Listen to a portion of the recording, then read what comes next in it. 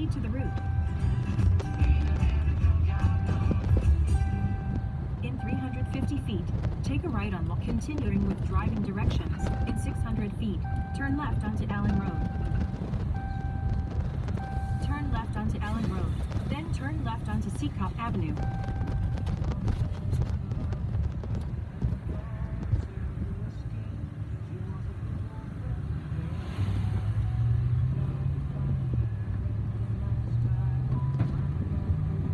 In 500 feet, turn left onto Seacop Avenue. Turn left onto Seacop Avenue.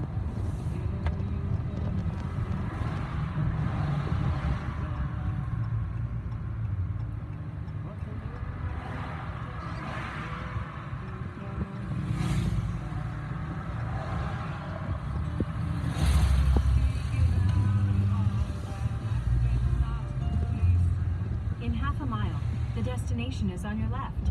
14718 Seacop Avenue.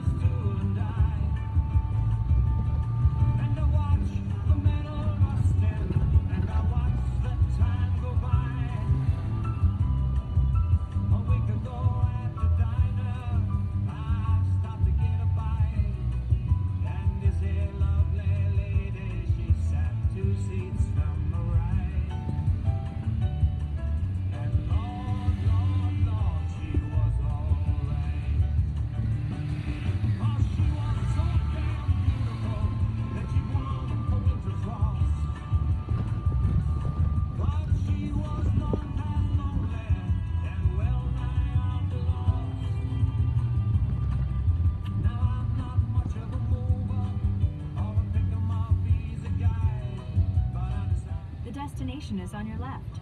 14718 Seacop Avenue.